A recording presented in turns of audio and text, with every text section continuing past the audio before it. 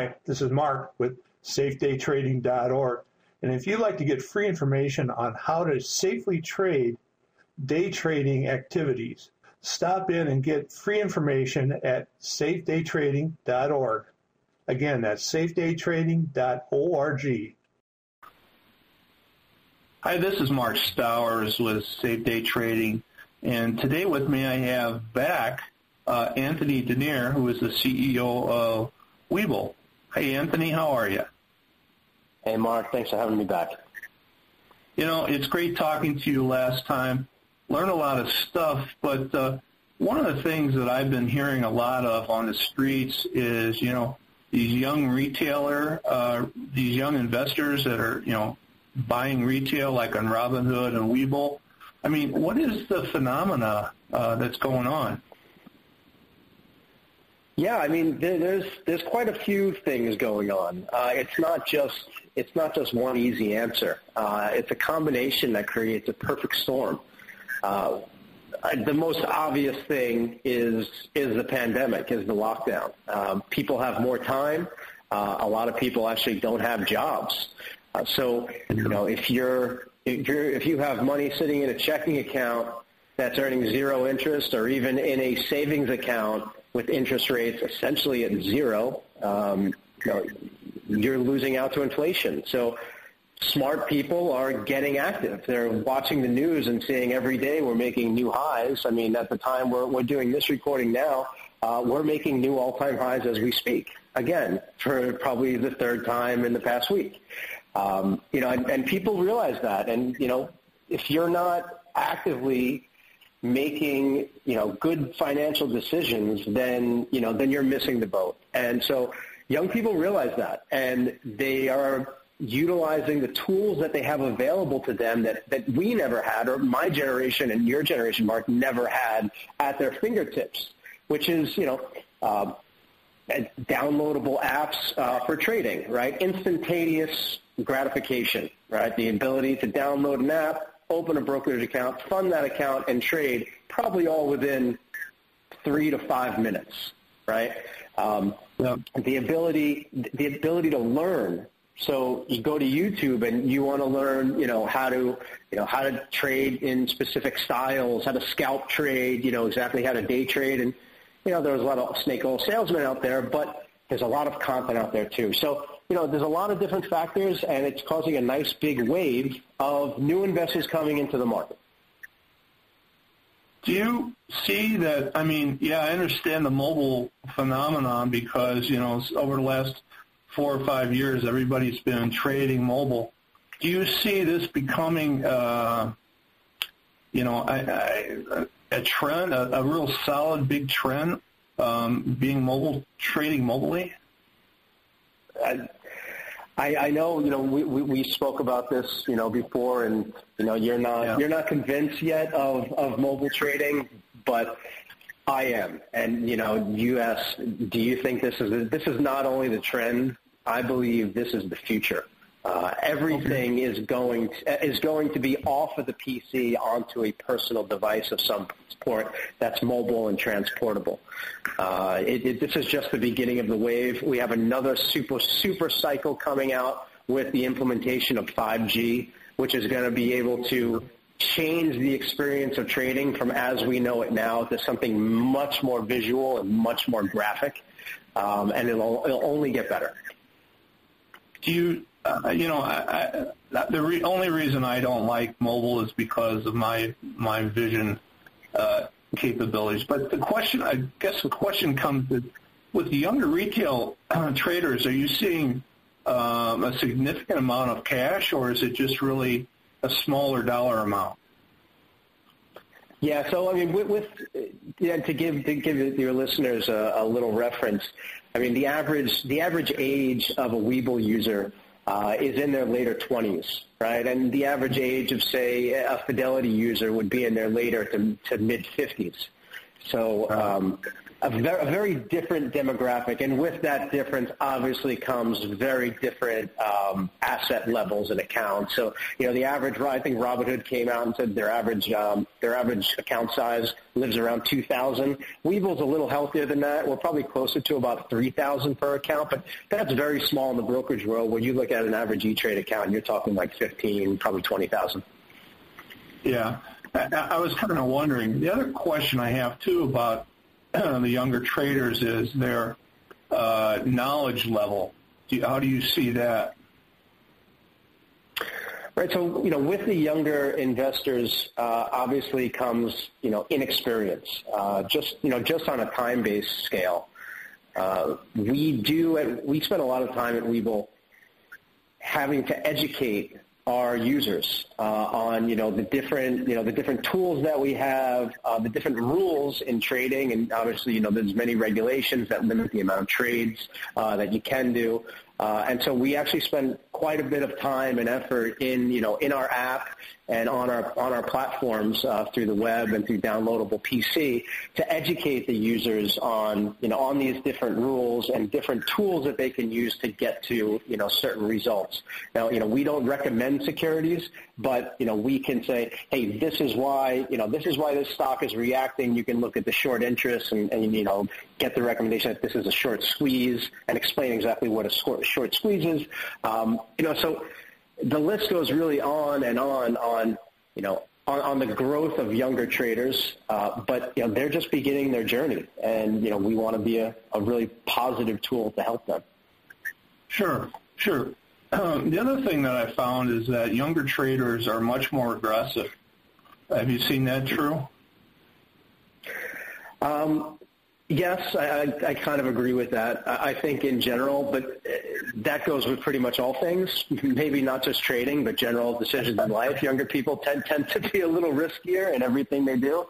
Uh, but at the yeah. same time, you, you know, even if you talk to seasoned financial pros, you know, they'll tell you the younger you are, the more speculative and the more risk, uh, you know, risk averse, you know, excuse me, the more risk uh, inviting you should be uh, because you know obviously you have more ter- more time to make that back to your earnings. So you know uh, that, I think that's I think that's pretty typical. Yeah, I, I think so too. That's what I've seen too. Is that you you know the the risk takers are the younger ones, and you know if they don't succeed, they'll always come back and. Uh, once they they grow back their base of cash, they're ready to try again. They're a little bit more knowledgeable, right? Exactly right. Exactly right. I mean, uh, and not just you know not just in trading, uh, in everything. They can fight another day, right? Where you know probably someone probably someone from my perspective, uh, I'm a little safer with with how I invest. Yeah, I would say I mean mine too. As they're a little bit more cautious the older they get, but uh, like you say, the younger ones, you know, they can they can fight another day. Um, yeah, my, my, my, my stops are always a little closer to, to, the, to the to my entry price than I think some of our younger users are. Yeah, I've, I've seen some younger users that don't use stops, so they let it roll. Um, yeah, do you totally. see? So you see the this mobile thing. I mean, you see Webull taking off on the mobile side. I agree with you too on the 5G. I think that 5G is going to change the whole game completely. Um, do you see that impact coming in the next year or two, or when do you see that starting? Well, it's going to take a little bit of time. Uh, we've already started preparing uh, for the 5G rollout in terms of some of the products uh, that we that we would like to implement on our mobile app, uh, and a lot of them are, are, are much more video, video based. So, you know, as an example, um, you can look at currently, if you wanted to have an information block, uh, you know, a little information tab pop up on, say, trailing stop, and you know, there's a little question mark where you can hit and it says, "What is a trailing stop?" And right now, there's like a little text box that'll open up, and within a couple bullet points, it'll give you a general description of what a trailing stop does and what it is. But in the future, and what we're going to see different in 5G, hopefully within about a year from now, uh, they can be a little uh, descriptive video as well that'll play and actually show you how to enter using the app, how to enter a trailing stop with a voiceover talking about exactly what it's doing, and it'll just be much more intuitive, much more user friendly, and I think a lot more educational for our users. Yeah. So you're thinking in about a year or so that 5G is going to start hitting hitting the marketplace? Oh yeah, I mean five five G is already up and running uh, in a lot of Asia already. Um, yeah. You know, the U.S. is the U.S. is always a little slower to implement this stuff for a litany of reasons, but but I'm hoping uh, with this time next year, absolutely. So you're really kind of looking at a, almost a revamp of the system, aren't you? Because of that, it's certainly going. to Yeah, I mean, it, it's not the system's not going to look different in a year from now. You'll start you'll start to see some changes in a year, um, yeah. but I would say probably in, in about five years, trading on a mobile device will not look like it looks like now, right? There'll be a um, com- completely different user interface, completely different user experience as people just become much more comfortable with interacting. Just think about in real time now what an app, mobile app looked like five years ago from today, right? A completely different experience. It was something that was almost like a gimmick um, that kind of fed off of whatever is available on the web. Maybe you can view your portfolio, but you couldn't make a trade. Uh, everything was very blocky and graphically unpleasant. Um, and now, you know, fast forward five years, and you have apps like Webull, where you can basically do everything you could do on a PC, probably, and then some on your phone while you're commuting. Uh, it's only gonna it's only gonna keep going and increase. Yeah, you, and uh, expectations of the the handheld uh, handheld device is going to grow as well, right? Yeah, the only thing I don't know, which you know anyone, probably someone smarter than me, can answer, is which way the devices are going to go. Because at one point they got big, then they got small again, then they got big again. It seems like now it's starting to shrink again. I, I I don't understand that trend that much, but time will tell. Yeah, well, time will tell, like you say. So um, when you look at what has happened now, now what do you? Uh, I understand you're also bringing along um, a uh, a desktop model for Webull. Is that right?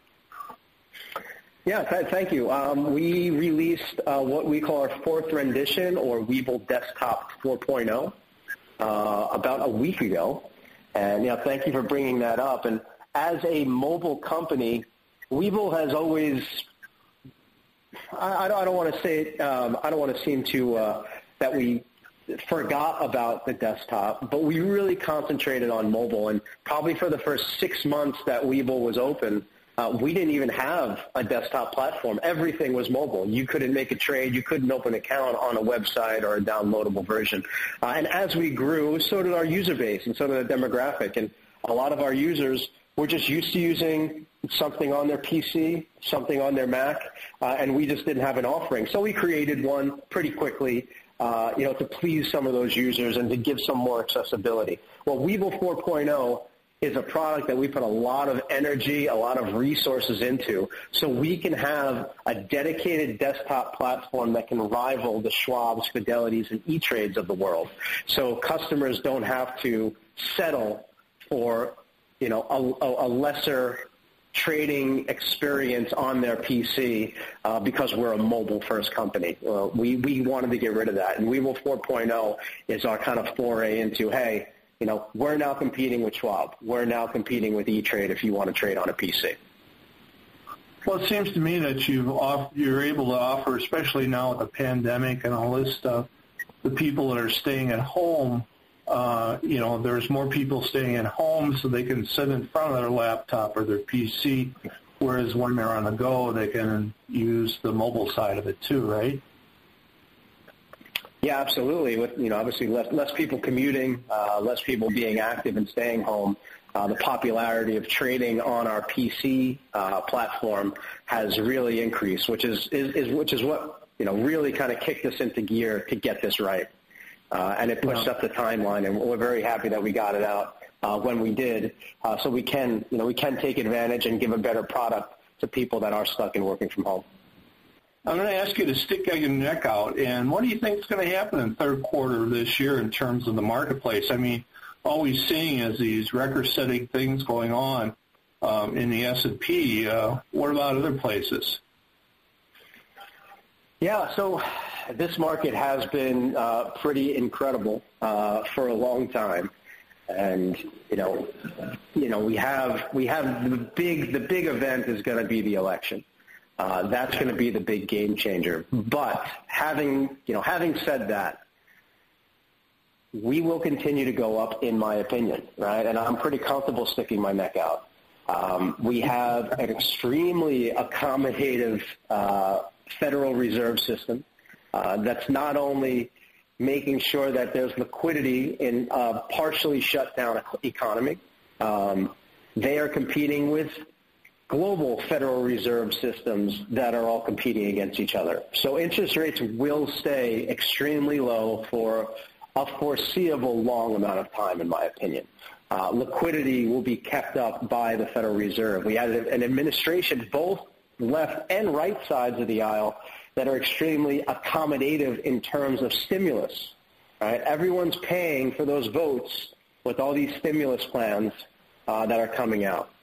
Um, and you know, at the end of the day, like we talked about earlier in the podcast, what are people going to do with that cash coming in? Are they going to have it sitting in zero percent, zero percent uh, yielding vehicles, or are they going to put it into the best stock market we've seen ever, right? I mean, it's not even comparable now. We're, we're past a decade of a bull market.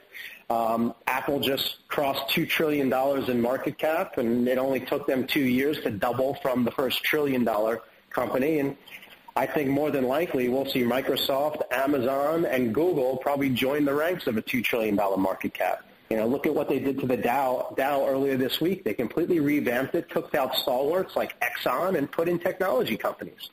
Uh, technology is the new economy, and it's been solidified uh, with all these changes. Yeah, I agree with you. Um, what do you think about the discussion that's going on right now about inflation, though, that uh, has come up in the last two days or so? Hmm. I mean, inflation is, you know, inflation is the problem when you have interest rates like the, at these levels. Um, it seems like it's somewhat in check in the longer term, but you know, it's if, you, if if the market is going to inflate, then you might as well have money in it because you want those those stock prices will inflate. Uh, if you have it sitting in cash, your cash becomes less valuable. Uh, if you have it in stocks, those stock prices will inflate with inflation, and you'll be pretty good. So, I mean, it's, it's just another argument to help, uh, you know, to, to, to further why I think the market will continue to go higher. Yeah, I agree. I, I think the market's going to blast off until until we know what happens in November. Mm-hmm. Um, mm-hmm. Sure. It's going to it's really going to be an interest. You know, Anthony, I have to tell you that 2020 has been the most interesting year I think I've ever lived through. with with all the things that have happened, it's just amazing. So, Anthony, how do people get a hold? how did people get a hold of Webull? So uh, our website is www.webull.com. Uh, you can uh, download our PC version of Webull 4.0. If you don't want to download anything to your PC, you can actually use a web version uh, of that as well. Um, you can also go to any app store, the iOS store or the Android store, and download our app. Uh, it is currently the number two most popular uh, app in the finance section, so it's hard to miss us. And um, you know, start your start your Webull journey now. Well, Anthony, I really want to thank you very much for your time. Um, you always have some interesting uh, insight into what's going on, and uh, thank you. Mark, thank you, and be healthy. Have a great day. Okay, see you later. This is Mark Stowers with Safe Day Trading. Talk to you later. Hey everybody, I want to mention too that we have a YouTube site called Safe Day Trading, which we show you trades that we make with the techniques that we use. You can also send me uh, questions that you might have at mark at safedaytrading.org. Anyway, talk to you later.